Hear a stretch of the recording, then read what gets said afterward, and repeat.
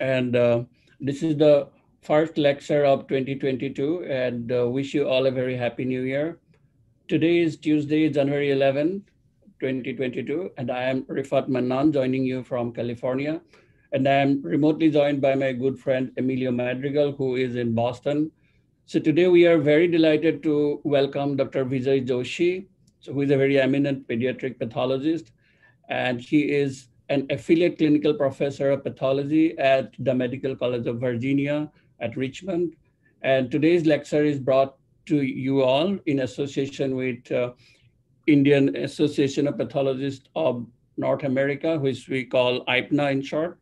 And the title of today's talk is Stepwise Approach to Diagnosis of Extended Ewing Family Tumor. And this would be a two-part talk. So today's talk will be part one. And as always, please feel free to post your questions and comments on both YouTube and Facebook chat windows. And Dr. Joshi will answer them towards the end of the session. And thank you, Dr. Joshi, for uh, presenting this lecture to us today and to all of the viewers. And thanks to IPNA for making it uh, possible. Over to you now, Dr. Joshi. Thank you, Dr. Rifat Mannan, for making your Pathcast platform available to me for this presentation.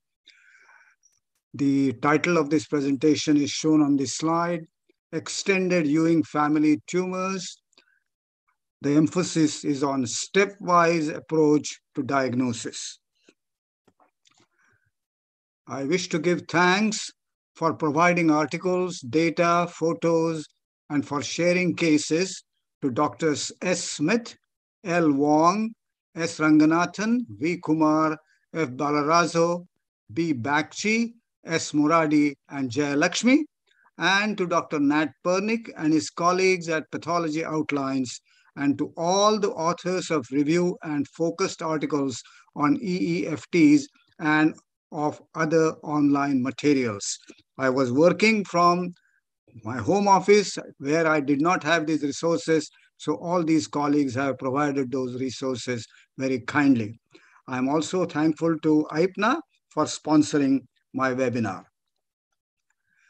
The plan, the plan of presentation is given on this slide. It is divided into two parts. Part A will be given today. Part B will be given in February, February 15th. what I'm going to do is to go over short, very briefly, history of Ewing sarcoma family, then I will say a few words about the new members or entities which make an extended family. And these new members are recognized by NGS. I will also say a few words about nomenclature. And then the main emphasis of the presentation would be on stepwise approach, which includes clinico-pathologic or clinico-histologic and ICC profiles and genetic markers of these tumors, uh, which are required for diagnosis of EFTs. I will also give original and recent references on the slides. And lastly, I will briefly go over biologic relevance of genetic markers. In today's presentation, we'll go up to clinico-histologic profiles. In part two, we will do the rest of the uh, talk. So it goes back to history. History goes back to 1921, more than 100 years, when Dr. Ewing described what he called as hemangioendothelioma of bone. Even before that, in 1918, Dr. Arthur Purdy Stout of Columbia University had reported what he called as peripheral neuroepithelioma, these two entities, hemangioendothelioma and neuroepithelioma, were characterized by routine histology, and therefore the emphasis of my presentation today is on routine histology.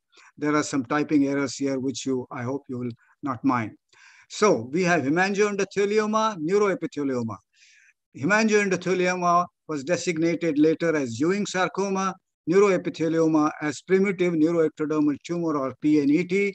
And another tumor was added to this list that is malignant small round cell tumor of thoracopulmonary region by Dr. Askin in 1979.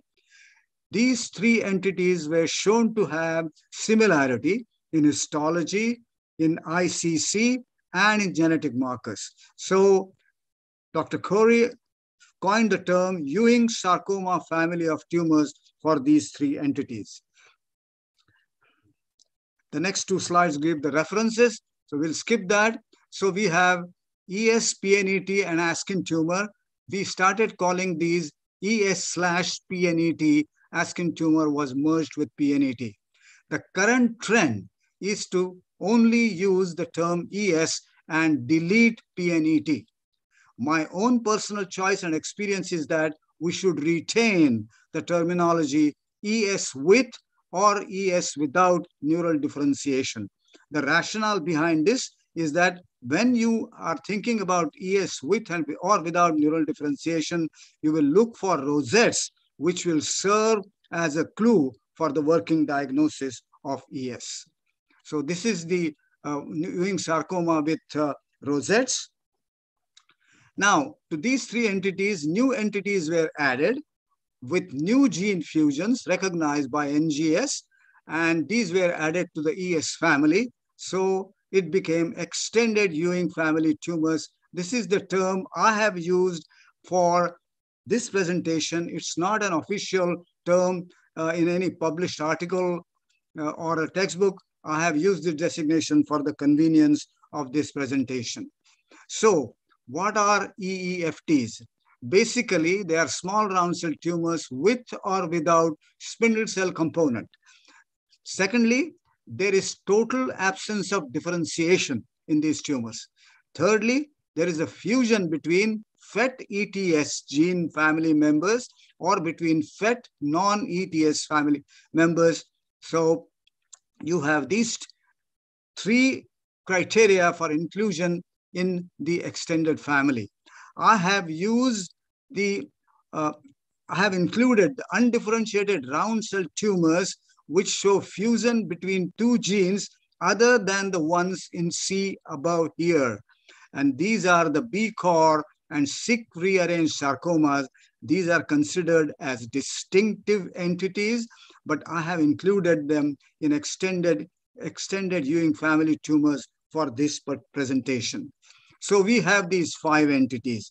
I, we need not go into the details of genetic markers at this point.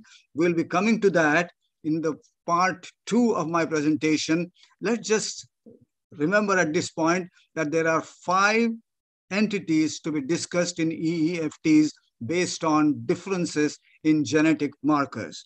There is a sixth entity described here. We are not going to deal with this. This is undifferentiated sarcoma with no distinctive gene marker. Maybe in future, there will be a few cases out of this entity which uh, will be shown to have uh, distinctive genetic markers. But for this presentation, we are going to confine our discussion to these five entities. The diagnostic workup of these tumors is resource intensive. It requires wide range of ICC stains and of tests for molecular markers. And in some cases, difficult cases, you may have to refer the case to centers for expertise and resources. I am trying to give you, a, present to you a global perspective by bringing to you the histologic and ICC profiles of these tumors so that on the basis of working diagnosis made from these profiles, you will be able to request targeted ICC stains and molecular genetic markers, which will tend to reduce the costs. Resources, that is a challenge in the, for the institutions in developing countries. There are limited tools. The range of ICC bodies, anti antibodies may not be very wide. There may not be methods available for molecular genetic markers. The costs of both clinical and pathology tests are prohibitive uh, in the developing countries, and therefore a targeted approach, as I have suggested to diagnostic workup, will reduce the costs. Uh, as you know, fine needle aspiration biopsy may be feasible, only, only procedure feasible in certain developing countries. And you also very well know that fine needle aspiration biopsy samples can be triaged for ICC and genetic markers, and a definitive diagnosis of EFT can be made. Now, when we approach EFT, I will say that basically these tumors belong to the broad group of SRCTs, that is small round cell tumors in children and in adults. There are two sets in this broad group of SRCTs. The first broad group is, is that of established SRCTs, well established, well described, well uh, characterized SRCTs with demonstrable line of differentiation, with demonstrable line of differentiation. And there are three subsets in this established uh, group. And the second uh, group is the EEFTs, which are an emerging group, not yet established as firmly as the group A. These are undifferentiated small round cell tumors. There is an exception to this, and that is the subtype of Ewing sarcoma showing neural differentiation. So we have already started seeing that I am making general statements, but there will always be exceptions to the general statements. That's what makes pathology interesting and exciting and challenging. So there are three subsets in the established uh, SRCTs. Uh, conventional spectrum is the first one. Neuroblastoma is an example of that. Then second subgroup is the small round cell variants of certain tumors, for example, osteosarcoma. And then the third subgroup is the biphasic sarcomas with small round cell component. And mesenchymal chondrosarcoma is an example of that. Now, straight off, I'm going to say that by stepwise approach, the subsets, all the subsets of established SRCTs have been ruled out. This is the assumption for the purpose of this presentation, which I'm going to confine to EEFTs. And I'm going to assume that the case that is being sent to me today is one of EFTs. And I have ruled out all other possibilities by, uh, by uh, appropriate studies. So the main established entities that need to be considered in the differential diagnosis of Ewing sarcoma is our neuroblastoma, embryonal rhabdomyosarcoma showing dense pattern, alveolar rhabdomyosarcoma showing solid pattern, and lymphoblastic non-Hodgkin's lymphoma of bone, which is CD45 negative and CD99 positive. And then you also have to consider the small round cell variant of osteosarcoma of uh, in uh, Ewing sarcoma, in the differential diagnosis of Ewing sarcoma. So let's now uh, assume, as I have already said, that all aforementioned entities in subsets of established pediatric and small round, adult small round cell tumors have been ruled out by stepwise approach, and we are left only with the five EEFTs, uh, uh, uh, which, uh, which we need to have a differential diagnosis. So the current trend in the diagnosis of these tumors is to do a needle biopsy and send about four to five crores. If there is a bone tumor with an extension into the soft tissues, it is suggested that the biopsy should be done from the soft tissue extension because decalcified tissue is unsuitable for NGS. The needle cores that we get are small, but they seem to be adequate as shown by the 91% rate of accuracy in a large series of needle core biopsies, that is of 233 cases. Furthermore, there are certain clinical advantages to this procedure. So it is going to stay with us and we are going to continue to get needle cores rather than incisional biopsies. The triage of incisional bio, triage of needle core biopsies is routine. You all are familiar with that. The only thing that I would emphasize is that you have to take a, have a sample for next generation sequencing. Whether it is a research method or a diagnostic method, you need to have a sample. Fresh frozen tumor from one of the cores is the ideal sample. But if you cannot have that, you can send a block of FFPE tissue, or you can send 10 unstained slides with 5 micron sections. As I've already indicated, FNA samples are can be processed for NGS, what they advise is that the smear should have preferably 5,000 tumor cells uh, within 3 to 10 nanograms of DNA. If you send sections, in the sections, there should be at least 20% tumor nuclei. So there is one difference between the type of sample for whole genome versus targeted, targeted NGS. High molecular weight DNA from fresh tissue is required for whole genome sequencing. Low molecular weight DNA from FFPE tissue is acceptable for targeted sequencing. When I, when I say FFPE tissue, I must emphasize that unrecycled buffered neutral formalin should be used for fixation of these biopsies.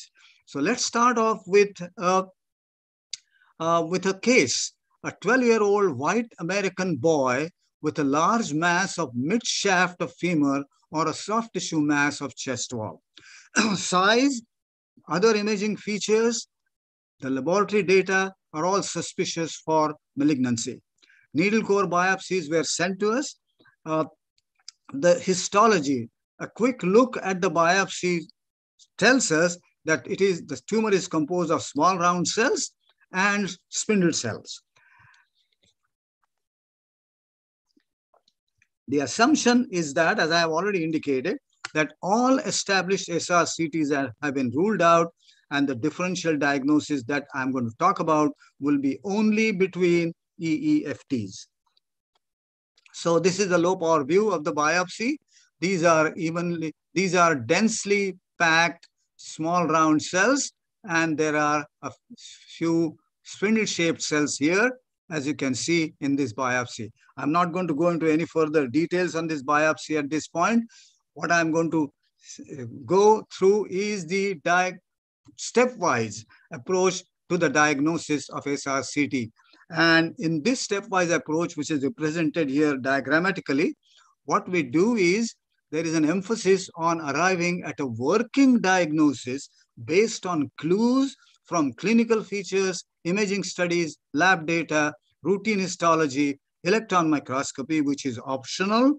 Uh, I would think that since this is an emerging group of tumors, I think in the spirit of science for the sake of science, ultrastructure of these tumors should be intensely studied, uh, even if they may not prove to be of any diagnostic value. And then we also have to look at the ICC profile and on the basis of clues obtained from these different pieces of data, we come to a working diagnosis and that working diagnosis is confirmed by a definitive diagnosis, uh, confirmed by demonstrating molecular genetic markers. And, uh, and we take, uh, uh we take a, uh, an approach which requires uh, targeted ICC stains and targeted genetic markers.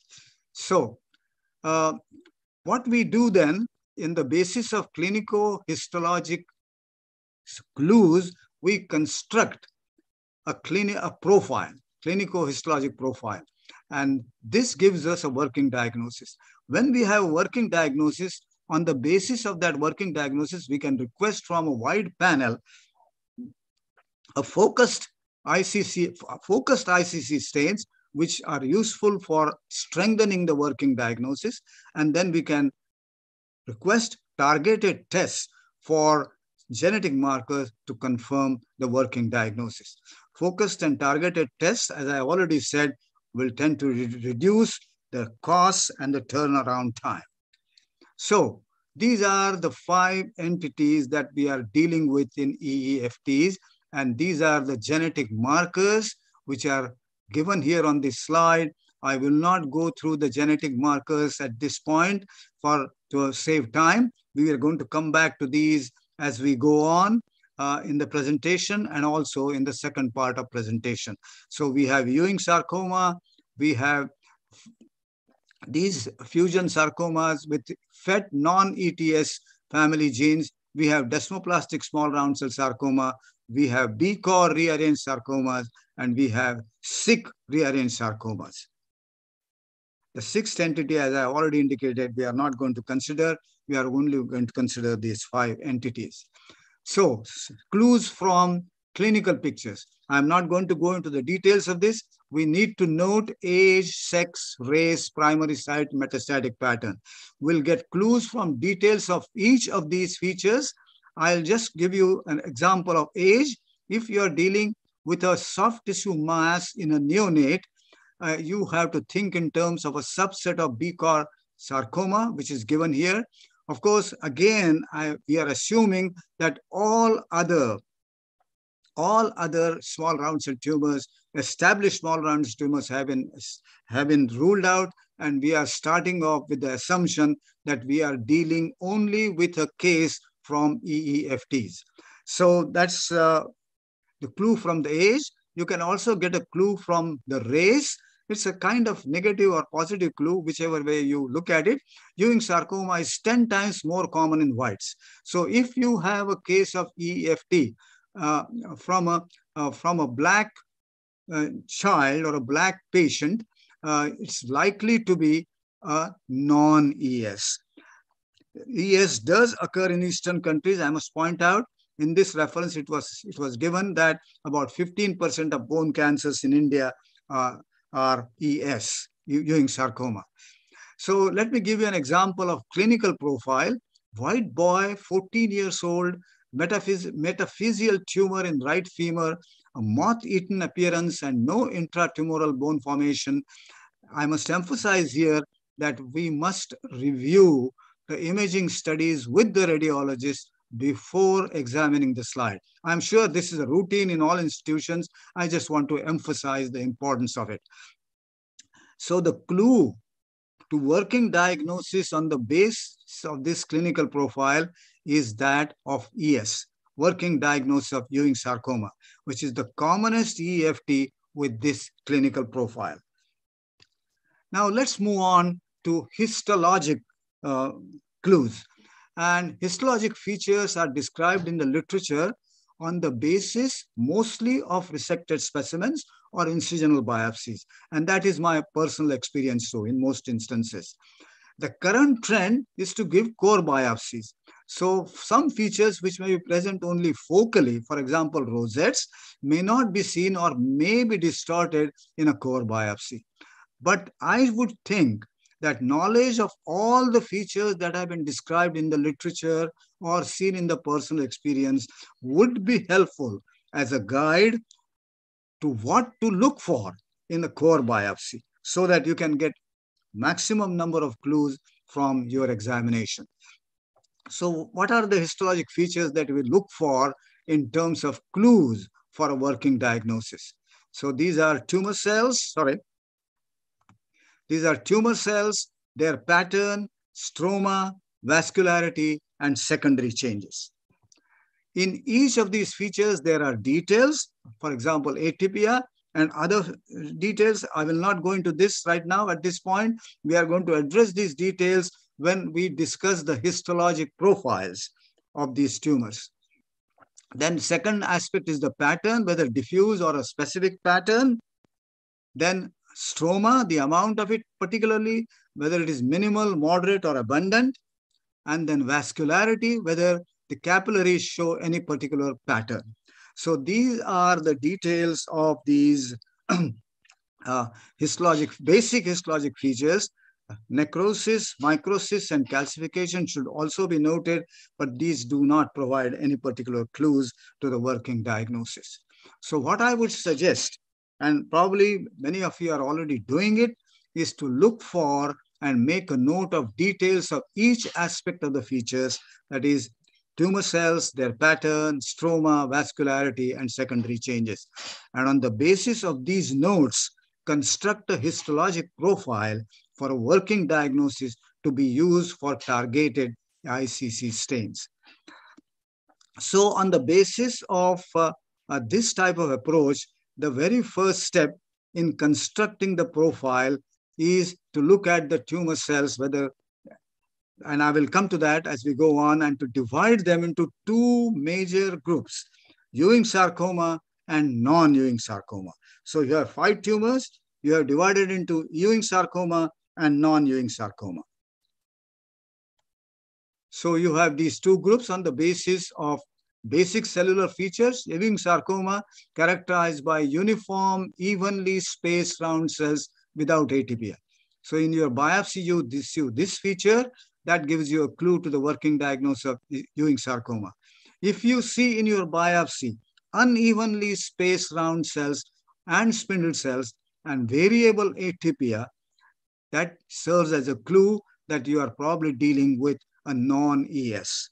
So ES and non-ES are the two major groups of these EFTs and non-ES has four entities. So it has, I, I would like to divide them, divide this non-ES group into two subsets. This is for better understanding of this approach. So non-ES is divided into two subsets. The first subset is BCOR rearranged sarcomas.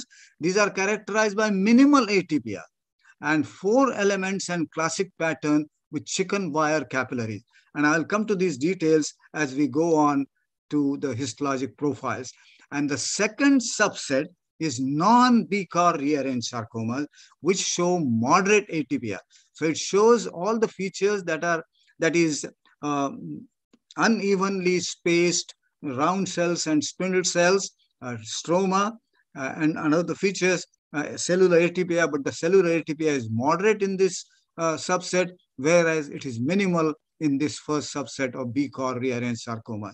And in this second non-BCOR rearranged sarcoma, we have these four entities, and I'll go in the, into the details of these four entities as we talk about histologic profiles of each of this entity.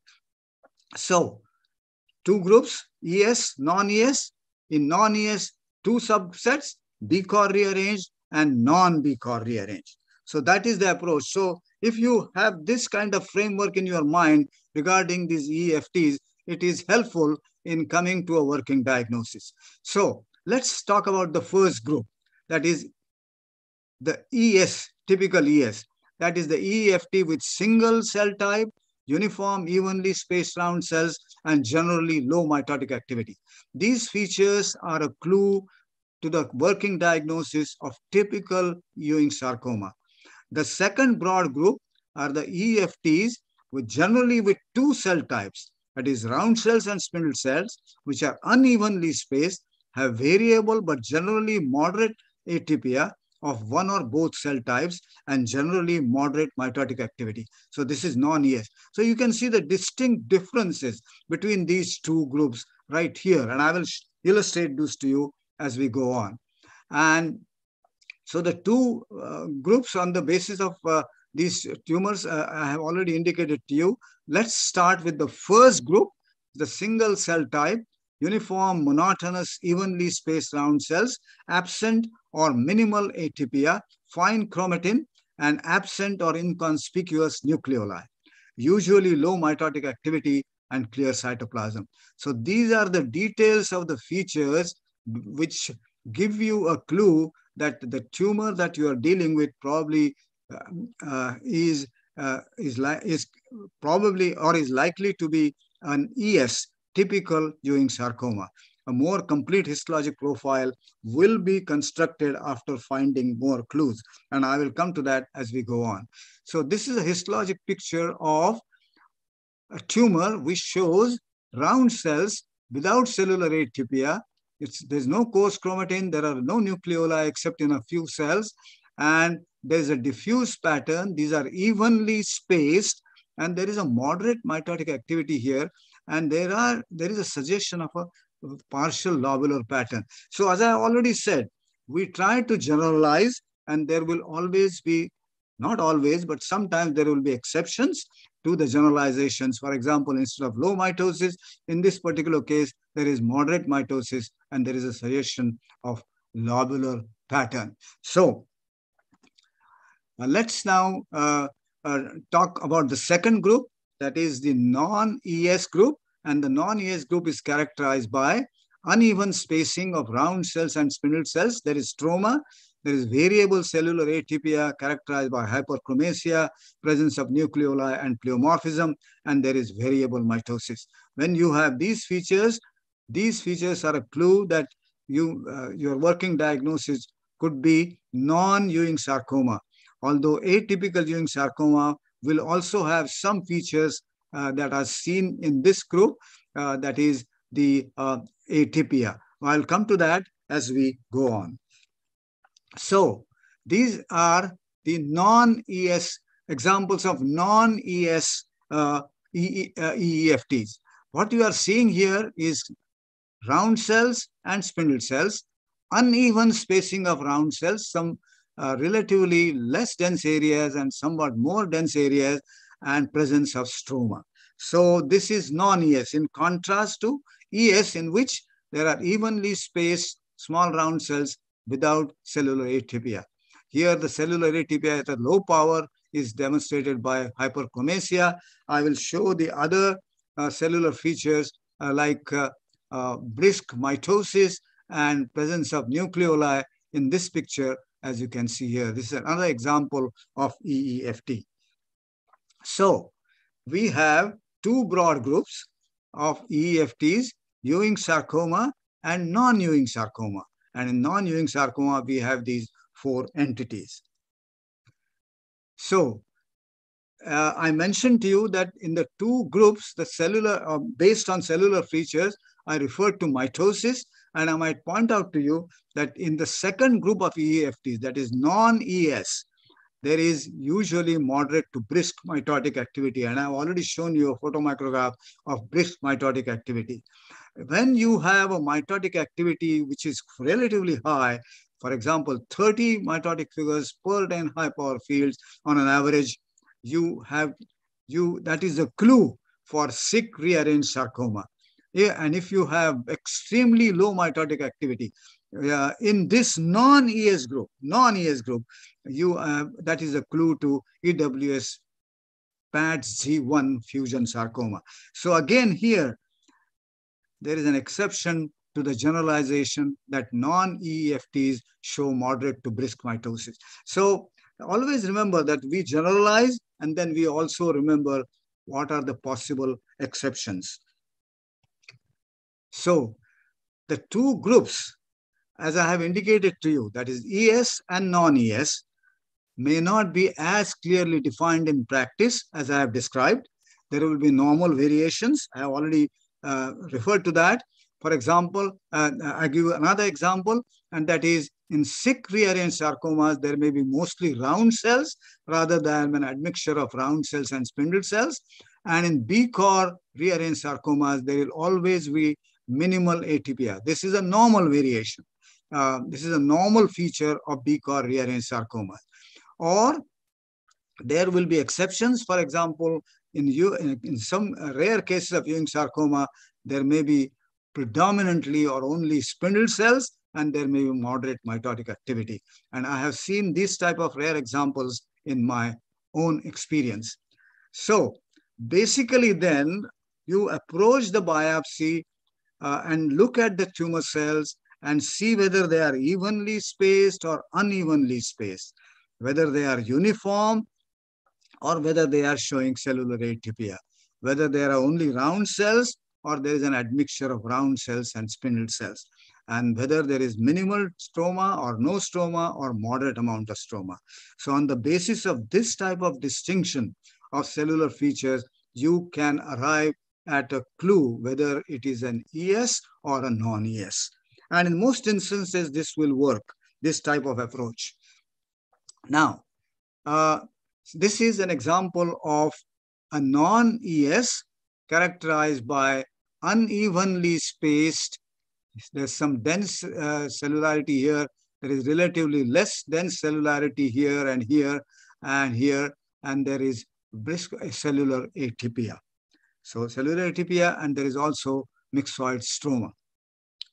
So, and this is uh, another example of a non-ES, uh, which is supposed to show cellular atypia, but as I show, as I mentioned to you, in uh, one of the non-ES, that is BCOR rearranged sarcoma, the cellular atypia is confined to differences in contours of the cells and no other features of cellular atypia like coarse chromatin or nucleoli or pleomorph or pleo, distinct pleomorphism.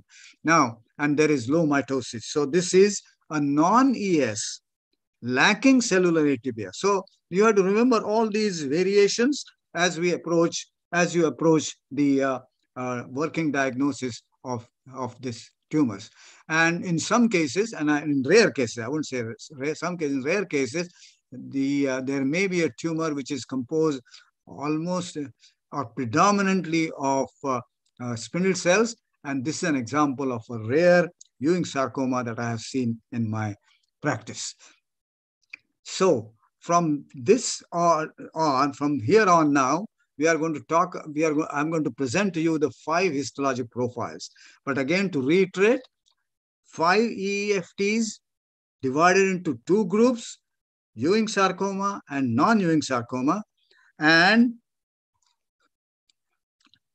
and the non-Ewing sarcoma divided into two subsets, BCOR rearranged sarcomas and non-BCOR rearranged sarcomas. So keep that at the back of your mind when I am describing these five histologic profiles, which are constructed from literature and personal experience. And these first five histologic profiles provide clues for ES of different subtypes. And there are different subtypes in Ewing sarcoma. We'll, I'll come to that. And I will present to you one profile which serves as a clue for a non-ES, namely BCOR rearranged sarcoma. So let's uh, start with the uh, histologic profiles. The first histologic profile is that of a tumor consisting of uniform, evenly spaced round cells with low mitotic activity, fine chromatin, inconspicuous nuclei, light and dark cells, no rosettes, diffuse pattern with some areas showing lobular pattern, little stroma, and thin capillaries with no particular pattern. And some of the tumor cells have clear cytoplasm, uh, which is indicative of presence of glycogen, and the reticulin stain shows no reticulin or sparse reticulin. So these clues from positive features, that is uniform, unevenly spaced cells, etc., and negative features, that is absence of atypia, absence of rosettes, and no reticulin around individual cells, and little or no stroma. These positive and negative features are clues for a working diagnosis of typical Ewing sarcoma without neural differentiation. Let me, uh, I'm going to illustrate to you the cellular features that I've talked about in this uh, histologic profile. But before I do that, I just want to say that the cellular features that we are going to see are better seen in fine needle aspiration biopsy smears and or in imprints of resected specimens and incisional biopsies. I will not advise making an imprint from a core biopsy. I, we don't want to produce any more distortion in the core biopsy that may already be present. So let's look at the cytologic features which provide a clue to the working diagnosis of typical Ewing sarcoma without neural differentiation. These are cytologic smears. Uh, these pictures I have taken from an article published from one of the medical schools in my original hometown of Pune, India. You see here that they are uniform round cells with, with fine chromatin, no nucleoli. You can see that there are some darker cells interspersed between these light cells. So light cell and dark cells. Uh, this is a glycogen stain which shows positive staining for glycogen, PAS stain. And this is the histologic view of a tumor from the needle core biopsy. I, have already shown you this, and I need not go into the details again. Uniform cells, evenly spaced, uh, diffuse pattern, little stroma.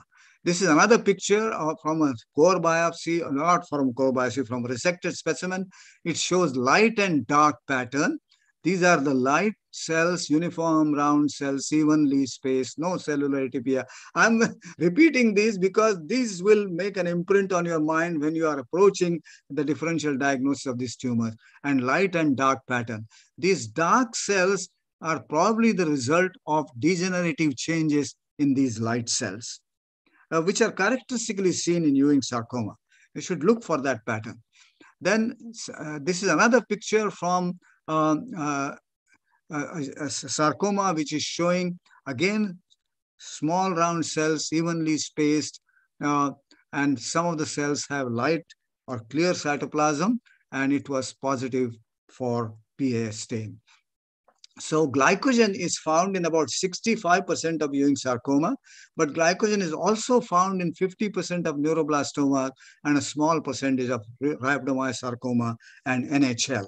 So uh, this stain is not of any particular use uh, uh, for histology, but let me jump to electron microscopy and point out that the glycogen that is seen ultrastructurally in Ewing sarcoma it has a different pattern.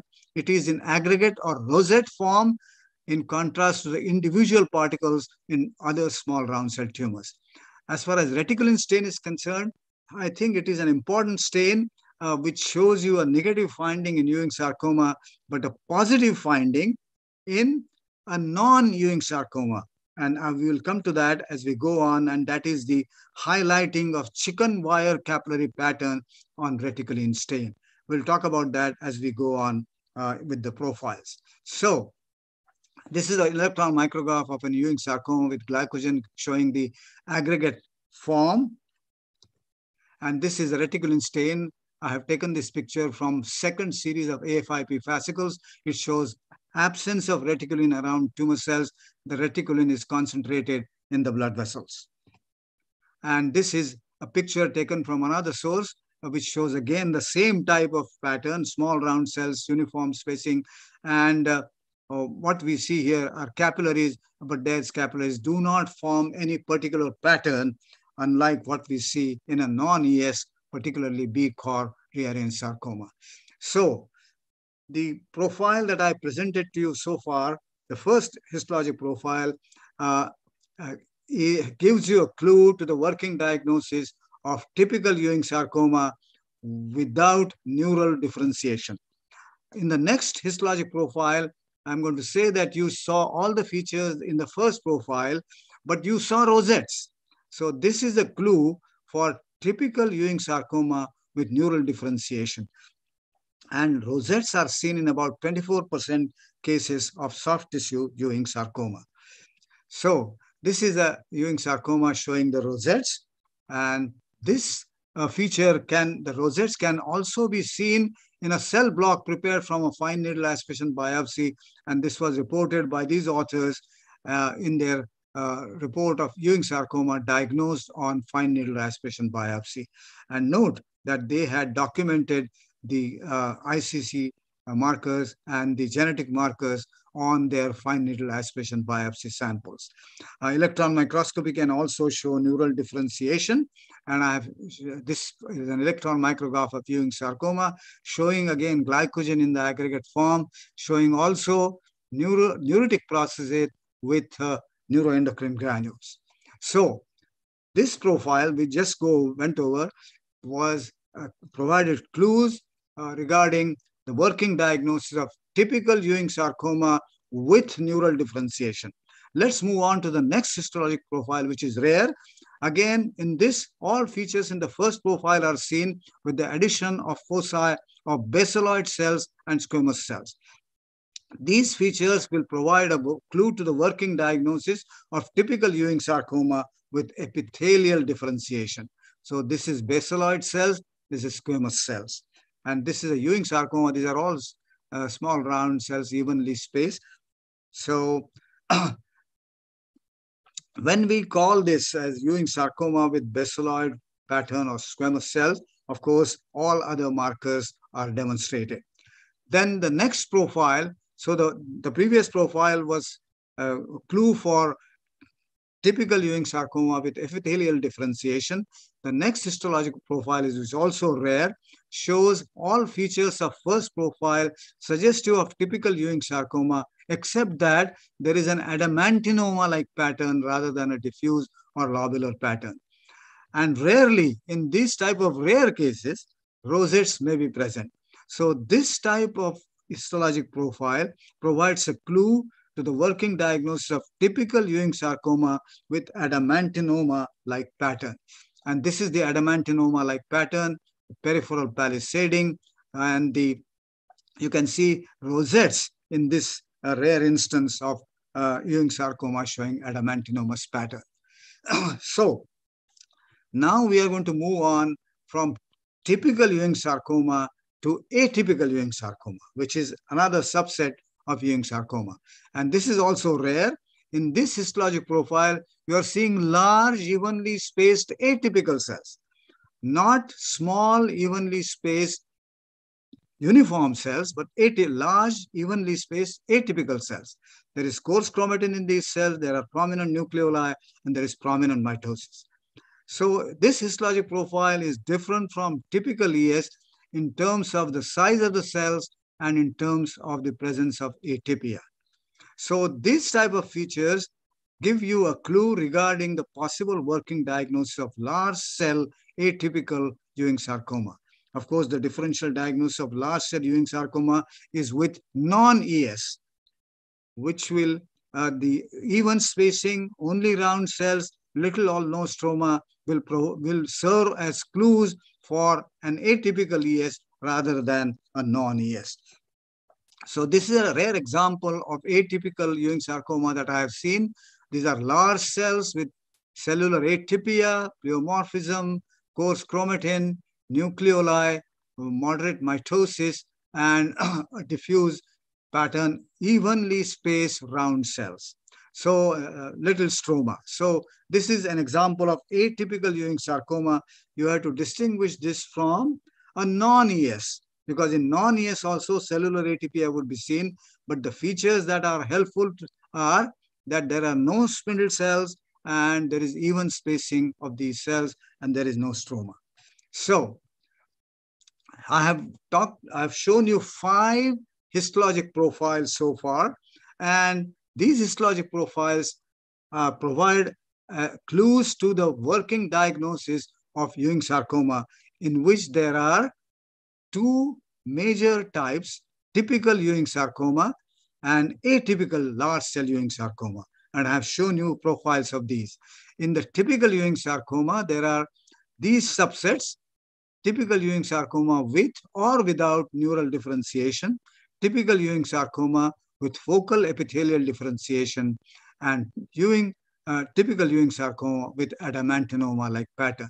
So there are these five different subtypes of Ewing sarcoma that you have to deal with when you are constructing a histologic profile.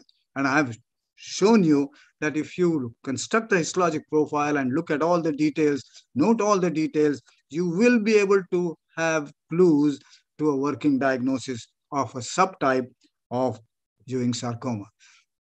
Let's now move on from Ewing sarcoma to non-Ewing sarcoma. And in non-Ewing sarcoma, we have to deal with four different entities. And, uh, and in this, uh, the features that you see on a preliminary look at the biopsy, needle core biopsy, are unlike the features that you see in group one, that is in Ewing sarcoma.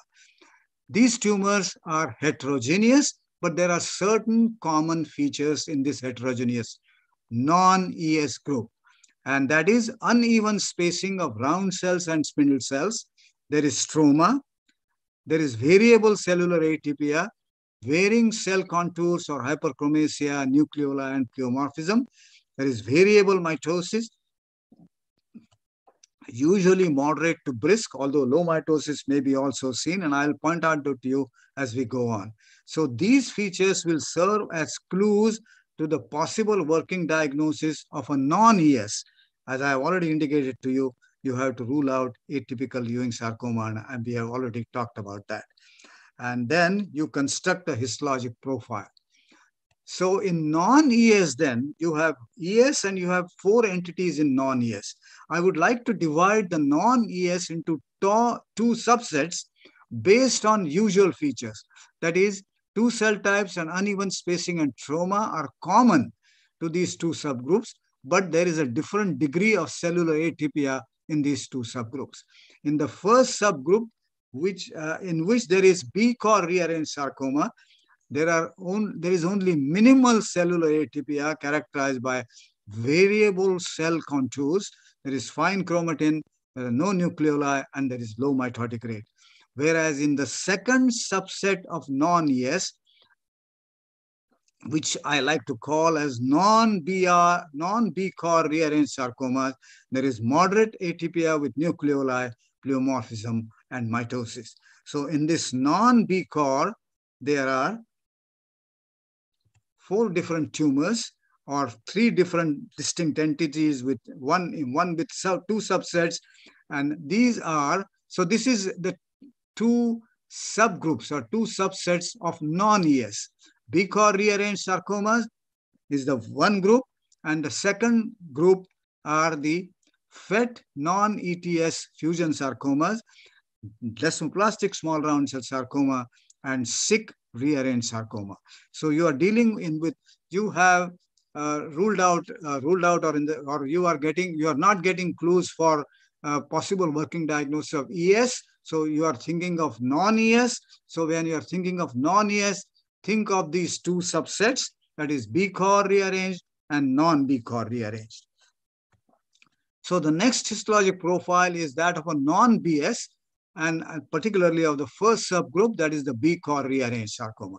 What you are seeing in this histologic profile is round cell sarcomas arranged in cords and nests, spindle cells forming septa, variable contours as the only feature of cellular atypia, that is tumor cells have fine chromatin, no conspicuous nuclei, and there is no mitotic activity.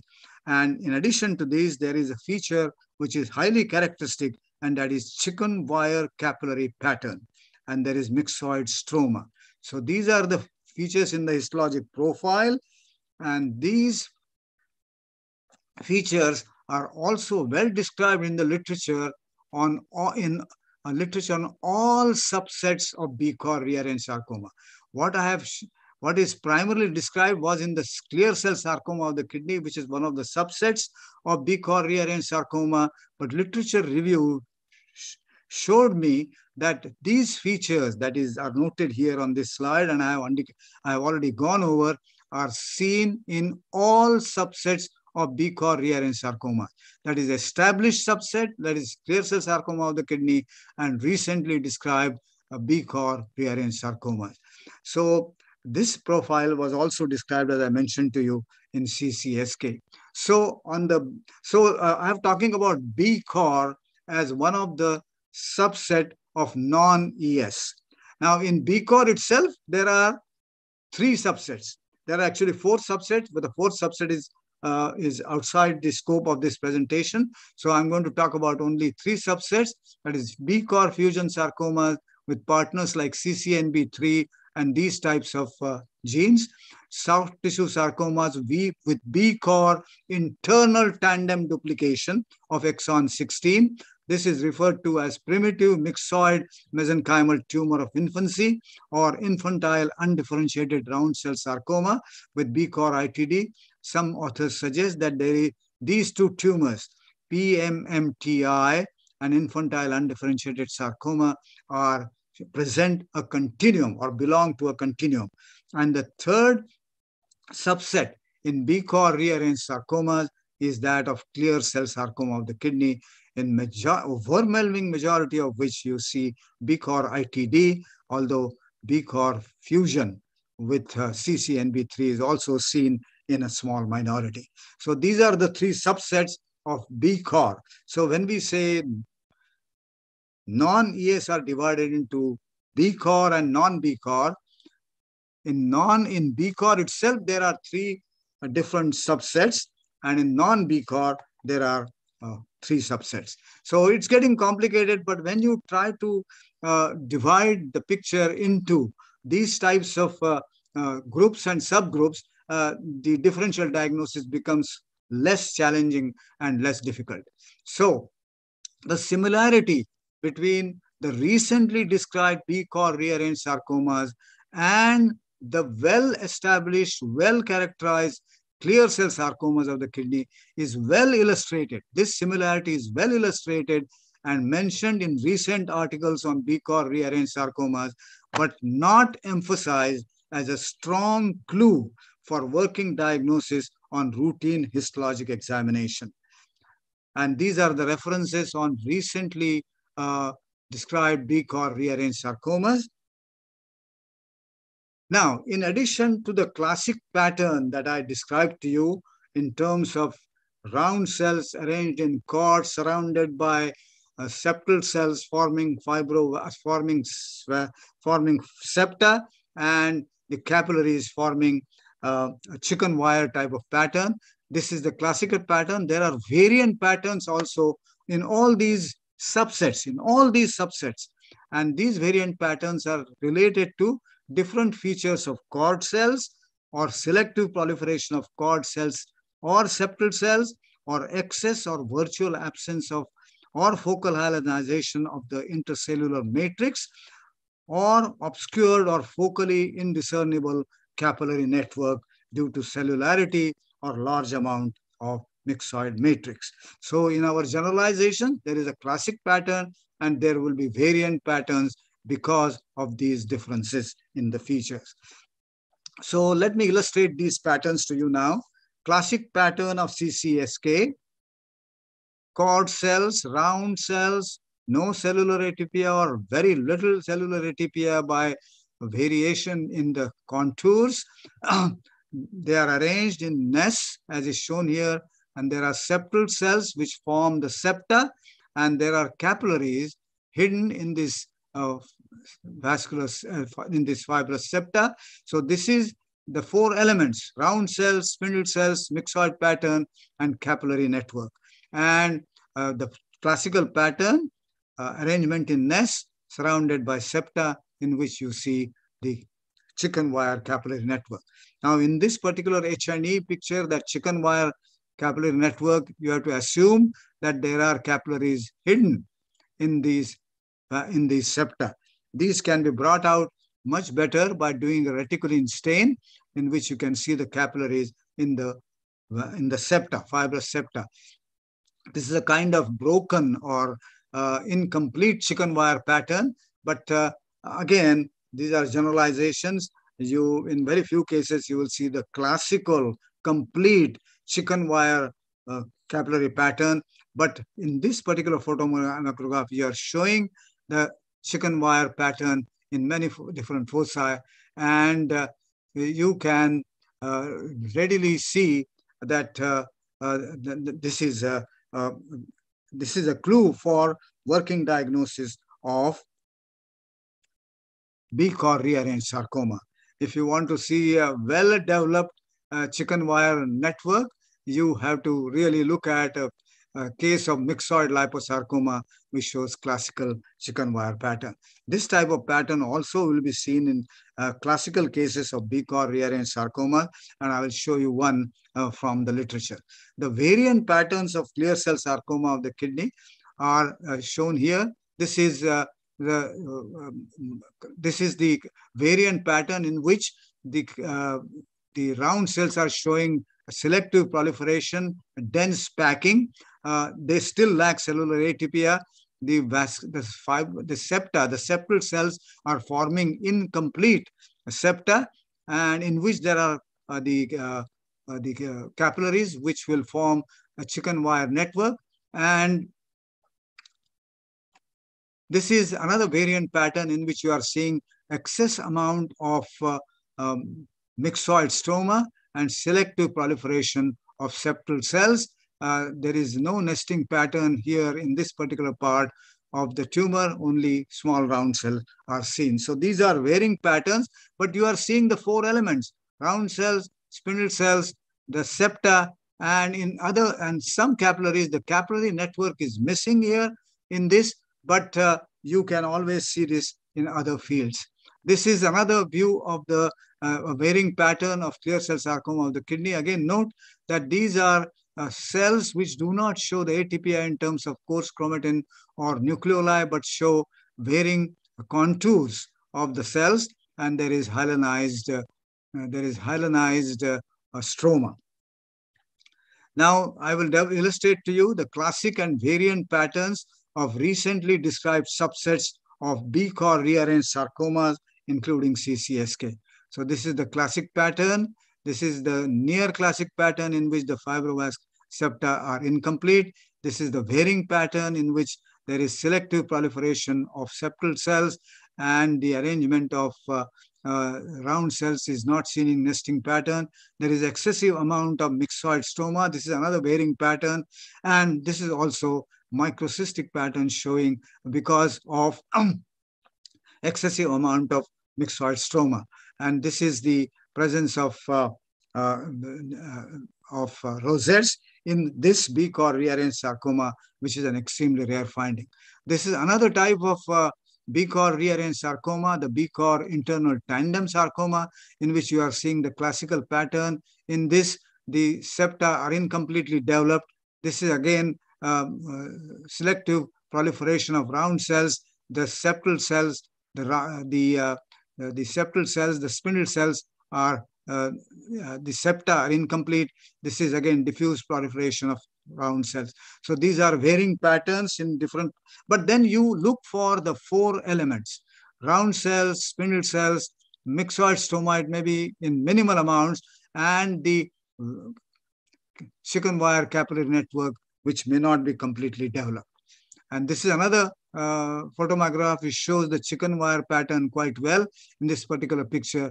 And then other atypical or, or varying, variant patterns, for example, selective proliferation of spindle cells, only areas of spindle cells, and so on. So these are the varying patterns. So the non-ES group has two subsets, BCOR rearranged sarcomas and non-BCOR rearranged sarcomas, as I have already shown you.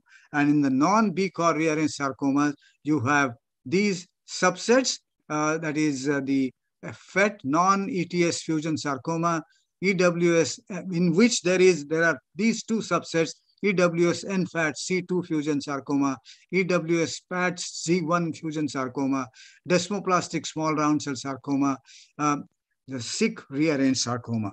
So non-ES has these four different tumors. Uh, this now, I will not go over all the histologic profiles of these tumors. I'll just point out to you the clues, the main clues that you get to the diagnosis of non BCOR, non-ES, that is non-BCOR uh, EFTs. So if you see myoepithelioma-like pattern in a and with focal staghorn blood vessels in a tumor which has features of a non-ES, a non-ES and non-BCOR think in terms of a working diagnosis of EWS NFATC2 fusion sarcoma. And this is an illustration of that. You are seeing myoepithelioma-like pattern. Note the cellular atypia. Note the uneven spacing of the cells. So this is a non-ES group. This is a non-BCOR group because there is cellular atypia. And then uh, we go on to the next one, and that is the uh, second group of uh, non-ES sarcomas, which show low mitotic rate, hyalinized stroma, and hyalinized capillaries, and that will uh, serve as a clue for working diagnosis of EWS PATZ1 fusion sarcoma. And this is an uh, illustration of that. Uneven spacing of small round cells. Uh, the, this is not high power view, but the uh, cellular atypia is characterized by hyperchromasia. There are round cells and spindle cells. There is hyaline stroma and hyalinized capillaries. So this will serve as a clue for the diagnosis of EWS PATZ1 fusion sarcoma. Let's now move on to desmoplastic small round cell sarcoma. And in this, you see desmoplasia as the uh, designation indicates. If you do electron microscopy on these tumors, you will see whorls of intermediate filaments. So this these types of features will provide uh, a clue to the working diagnosis of desmoplastic small round cell sarcoma. A note must be made of the feature of, of one particular exception, and that is no desmoplasia is seen in renal desmoplastic round cell sarcoma. So this is characteristic desmoplastic small round cell sarcoma. Uh, this is renal desmoplastic round cell sarcoma in which desmoplasia is absent. But then you make this diagnosis on the basis of uh, ICC markers and genetic markers and which we are going to come to in part two of my presentation. If you do electron microscopy on this uh, tumor, which uh, suggests the possibility of desmoplastic small round cell tumors, you will see whorls of intermediate filaments as is shown here. Then we move on to the last uh, subset in this non-ES non BCOR group, and that is the CIC rearranged sarcoma. Now, in this, uh, the uh, clues are provided by brisk mitosis, and focal rhabdoid change. So if you are seeing a tumor which is non-ES, non-BCOR, and is showing brisk mitosis and focal rhabdoid change, uh, think in terms of CCOR, uh, CIC rearranged, not CIC, CIC rearranged uh, fusion sarcoma or rearranged sarcoma.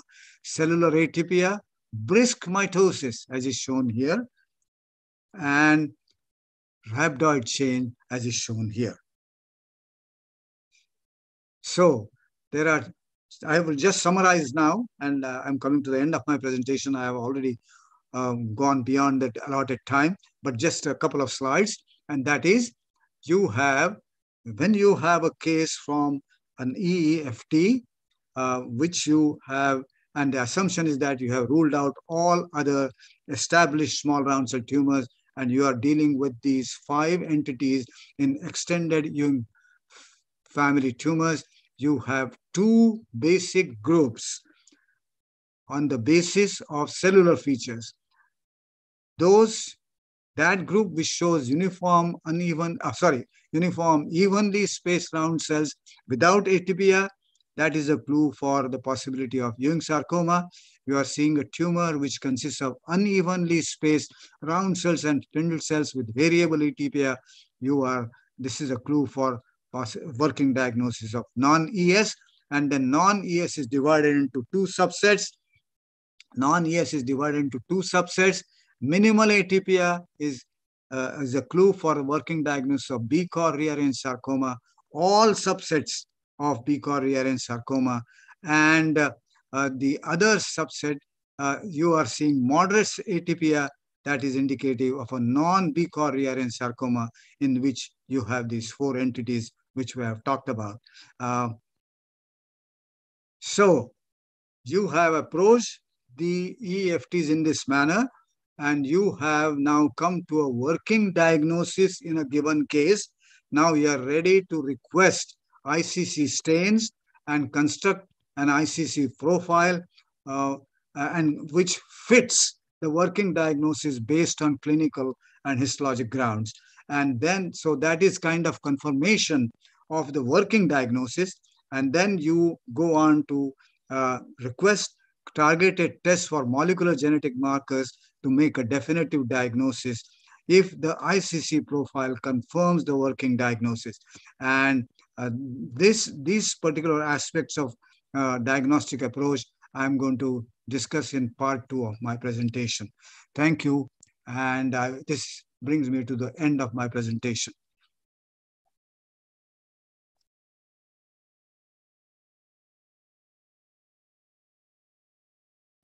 Thank you so much, Dr. Joshi, for this uh, illuminating talk on uh, Ewing family of tumors. Yeah. And I hope the viewers have uh, learned a lot from your talk. I'm looking at questions online. Let me see what I find. Uh, so there is one question from a viewer uh, hmm. who says that uh, in countries which are not uh, rich in resources and immunostains, how do we diagnose like uh, the other Ewing related tumors like BCOR, etc.? Well, I told you the histologic approach and um, for BCOR rearranged sarcomas, I can tell you from my experience that you can virtually make a diagnosis on histologic examination alone. But in this day and age, you have to go to the next steps. You have to find a resource, maybe in a regional center or a national center uh, in your country, and get the ICC stains, which are characteristic for BCOR rearranged sarcomas. And then, of course, and I will talk about these when I, in my second presentation. And then, of course, the definitive diagnosis is based on demonstration of BCOR fusion with CCNB3 or other genes or BCOR internal tandem duplication of exon 16. In this day and age, you can come up to a working diagnosis on the basis of histologic examination and suggest that to the clinicians uh, if you do not have other resources Uh, but to make a definitive, firm diagnosis, I must say you will have to send the case to a referral center. That's the way things are going in this day and age. Right. Thank you, Dr. Joshi. So here's another question from another viewer. The mm -hmm. question says that, uh, what is your experience on this uh, Ewing family related uh, tumor in uh, adults? Well, I am a pediatric pathologist. So I do not have uh, the experience of seeing these tumors in adults except in one or two cases which have been shared with me by my colleagues uh, in other countries. I will probably talk very briefly about one case in my second presentation. But I must tell you that all these tumors occur in children and in adults. Some tumors are more common in children. For example, Ewing sarcoma of the bone is more common in children, whereas Ewing sarcoma of the soft tissues is more common in adults than in children. CIC rearranged sarcomas are more common in, uh, in adults than in children. So uh, the uh, clear cell sarcoma of the kidney, which is a subset of BCOR rearranged sarcoma, is almost exclusively in children. But other types of tumors uh, can occur in adults, and uh, you have to deal with the tumors in adults exactly in the same manner that I have indicated in my this first presentation that is that deal dealt with the constructing histologic profiles, clinico-histologic profiles. Thank you, Dr. Joshi. So uh, this is a question about clear cell sarcoma. So uh, the clear cell sarcoma is it a, pure morphologic diagnosis or which is a useful immunostain that uh, that is useful to your experience, Dr. Joshi? Uh, is he asking about the stain? Yeah, immunostain, clear cell sarcoma. Oh, well, uh, immunostain, I'm coming to my, my next presentation. But le let me say about histologic, purely on histologic grounds, the diagnosis of clear cell sarcoma. Firstly, let me point out to you that the term clear cell sarcoma of the kidney is a misnomer. The clarity or the clearness in the tumor in the tumor is because of the presence of myxoid stroma and not because of clear cells. So that is number one. So, and, and histologically, as I have emphasized, you look for four basic elements. Round cells, spindle cells, myxoid stroma, and chicken wire capillary network. And these four elements will be present at least in some portions of the tumor. And you have to look for these carefully in all the different fields of the needle core biopsies that you will have. Of course, in a clear cell sarcoma of the kidney, a needle core biopsy is unlikely to be done because the approach to the diagnosis of renal tumors in children is not by way of needle core biopsies usually you get a resected specimen or if the tumor has already progressed and uh, is unresectable, then an open biopsy may be done. Although I have received in one case of clear cell sarcoma of the kidney, needle core biopsies, and I can tell you on needle core biopsies, it can be very difficult to make a diagnosis of clear cell sarcoma of the kidney. But if you remember that these are the four basic elements. And you look for these four basic elements actively. And remember that these four base these two cellular types round cells and septal cells do not show cellular atypia unlike other EFTs and also they produce a classic pattern. The round cells are arranged in nests or uh, uh or or cores which are surrounded by the septa formed by the spindle cells. And in the septa, you have the chicken wire um, capillary network. And between the round cells, you have the myxoid stroma. So this is the classic pattern. And if you might get varying patterns, which I have already illustrated to you, there may be selective proliferation of round cells. So in that in that area, in that field of the uh, clear cell sarcoma of the kidney, there may not be all the four elements present. There may be selective proliferation of the septal cells. There may be excessive amount of myxoid stroma, and all these features may obscure the chicken wire capillary network.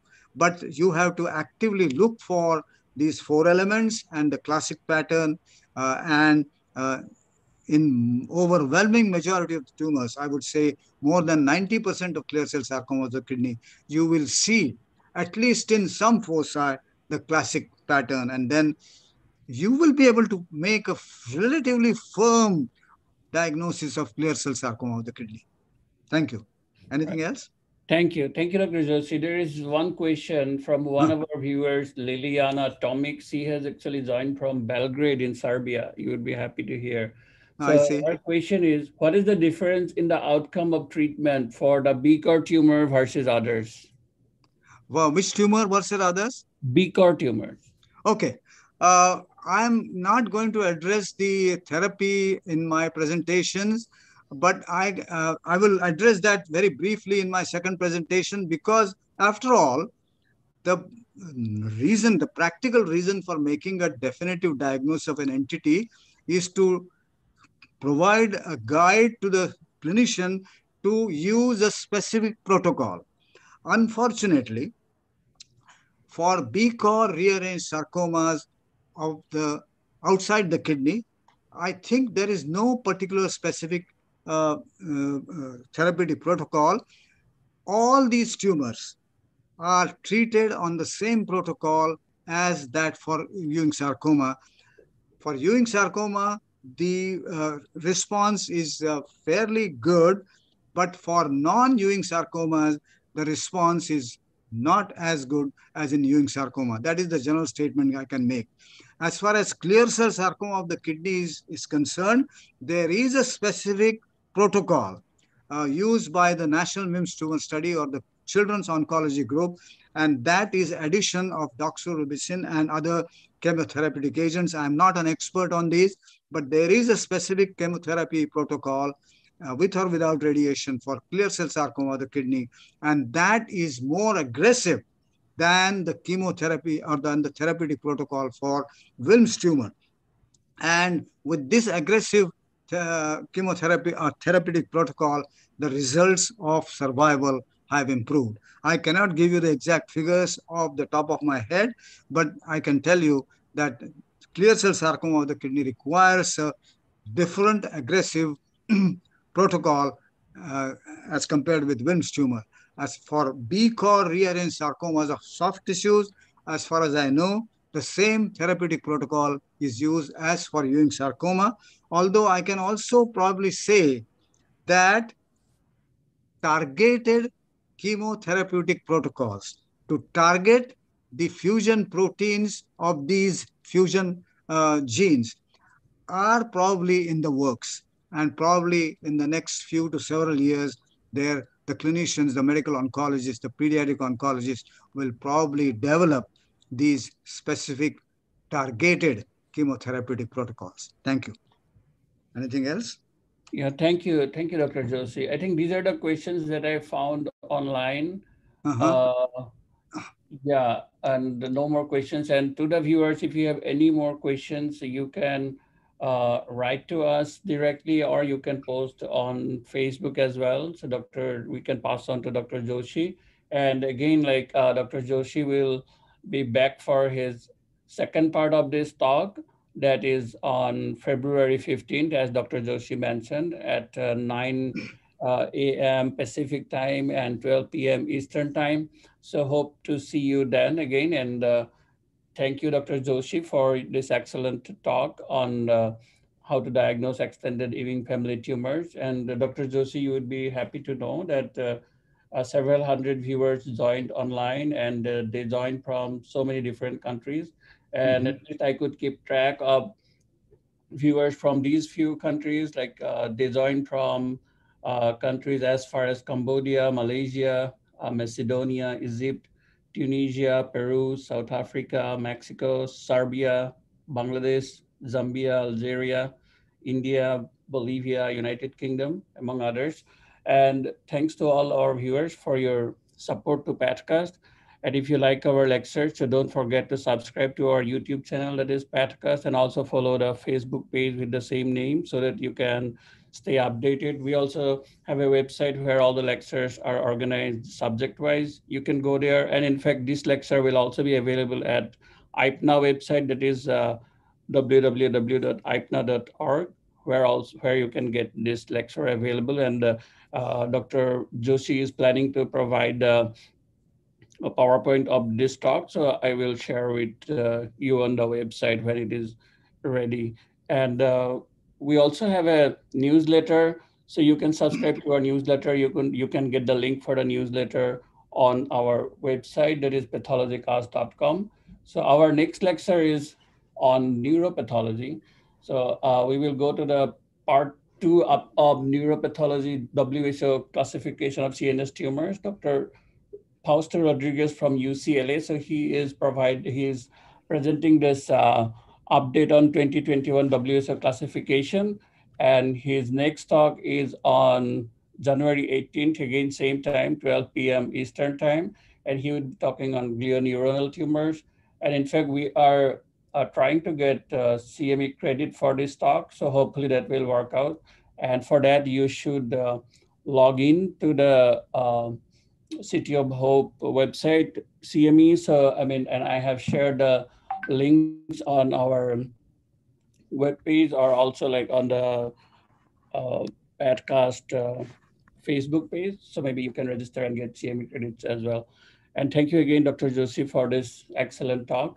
Thank and you. uh, hope to see you again on February 15 for the second part. It is exciting, uh, Dr. Rifat, to know that uh, there are viewers from so many different countries, and uh, it almost sounds like a pandemic of COVID-19.